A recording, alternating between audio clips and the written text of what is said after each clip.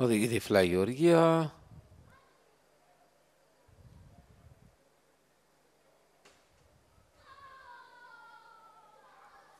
Όλα τα λόγια στις τους και έτοιμα τώρα.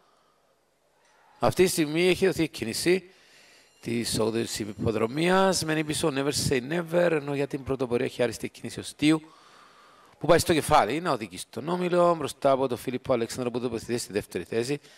Συνέχεια θέλει πλασαριστεί τρίτος, τέταρτος ο Έλβα και πιο έξω Τρίγκης σε καλή θέση, στο ύψος των 800 περίπου μέτρων.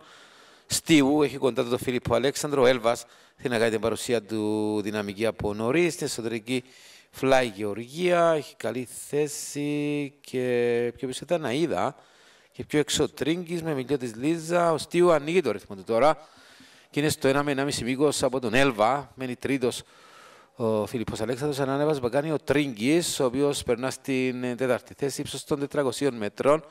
Με τον Στίου να βρίσκεται στην πρωτοπορία είναι ο ο Έλβας τώρα, καθώς ο Στίου είναι στα δύο μήκη μπροστά από τον Έλβα, ο οποίος τώρα προσπαθεί να μειώσει από τον Στίου και μειώνει. Πιο πίσω κάνει φίνιση ο Τρίγκη.